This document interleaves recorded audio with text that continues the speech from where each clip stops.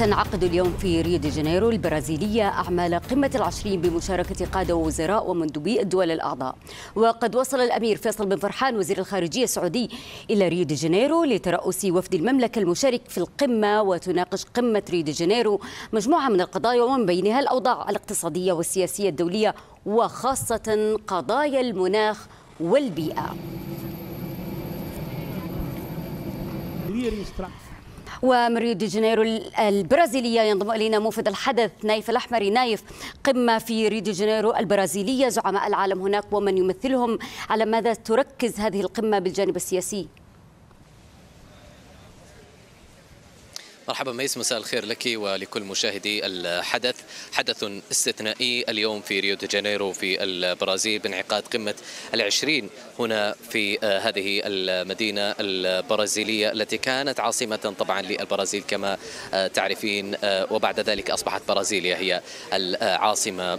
أكثر من 83 رئيسا وقائدا وممثلا للدول والمنظمات الدولية المهمة وصلوا بالفعل إلى ريو دي جانيرو للمشاركة في اجتماعات هذه القمة التي ستعقد بعد ساعة ونصف من الآن. الرئيس لولا دا سيلفا بدأ بالفعل باستقبال الرؤساء منذ وصولهم يوم أمس. هناك مسائل أساسية طبعا يعني تحرك هذه القمة لكن دعينا نركز على الشق السياسي في ما يخص تعزيز مسألة السلام الدولي ونبذ النزاعات الدولية. ستركز عليها كثيرا هذه القمة.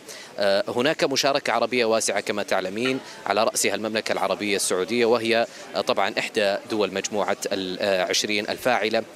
وكذلك هناك دعوات وجهت لدول مثل الإمارات العربية المتحدة وقطر ومصر أيضا لتشارك في هذه القمة. بمعنى أن هناك أهمية للشرق الأوسط وهو أو وهي المنطقة يعني التي تعج بالنزاعات والحروب.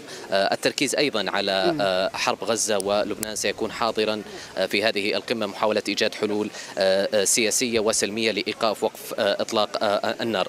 قبل انطلاق هذه القمة بساعات ميز كان هناك قمة اجتماعية. هذه القمة الاجتماعية عقدت هنا في البرازيل كان هناك حديث كثير جدا على مسألة إيقاف النزاعات والحروب في غزة وفي لبنان. هناك جالية عربية كبيرة من لبنان مثلا تقطن البرازيل يقدرون بالملايين.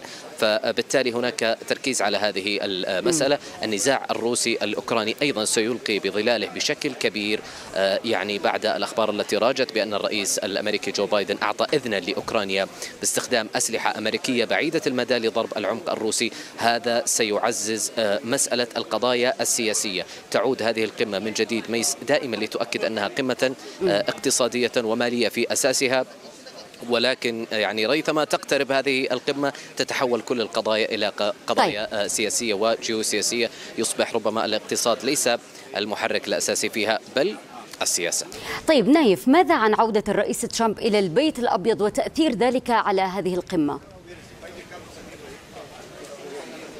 عودة الرئيس دونالد ترامب إلى البيت الأبيض من جديد. بصراحة لها انعكاسات وتأثيرات كبيرة. كما تقول يعني بعض التقارير والمطلعين أيضا كذلك. حتى حديث هنا بين الصحفيين. فيما يخص المسائل السياسية المهمة فيما يخص أيضا حتى البيان ربما الختامي ربما لن نشهد بيانا ختاميا مشتركا ربما سنشهد بيانا ختاميا.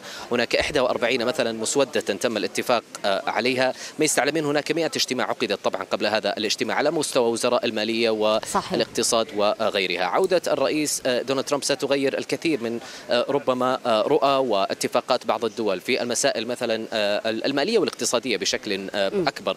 لكن فيما يخص المسائل السياسية مسألة معالجة الحرب الروسية الأوكرانية إيقاف النزاعات في الشرق الأوسط والتي تعهد بها الرئيس القادم للولايات المتحدة دونالد ترامب.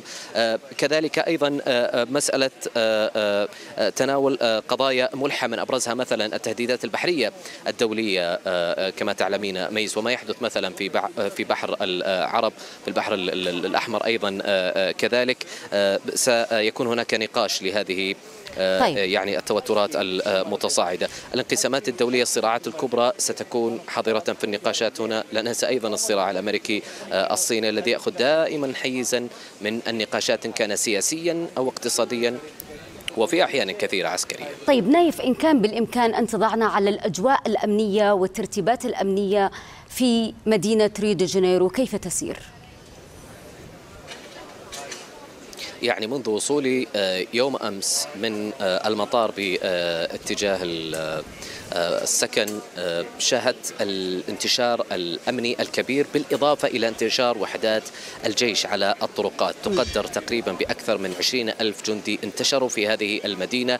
مئات المركبات أيضا العسكرية لا اعلم كنت تسمعين أيضا أصوات حتى الطائرات التي تحلق فوق المدينة لتعزيز الأمن في هذه المدينة التي تستضيف أهم قادة ورؤساء دول العالم الذين توافدوا إليها. هناك طرق رئيسية كثيرة تم إغلاقها إيقاف حركة المرور فيها بشكل تام. المدينة أصلا تشهد عطلة لمدة سبعة أيام من الأربعاء حتى الأربعاء توقف شبه تام في المدينة فقط لهذين اليومين المهمين الاستثنائيين في تاريخ البرازيل وكما تعلمين ميس عدد الرؤساء والقادة المشاركين في هذه الدول يصل إلى 84 أي أننا أمام يعني حضور كبير استثنائي ربما لم يكن له مثيل في في القمم الثمانية عشر السابقة. نحن الآن في القمة التاسعة عشر. فبالتالي هناك حرص شديد من البرازيل على إنجاح هذه القمة على محاولة لم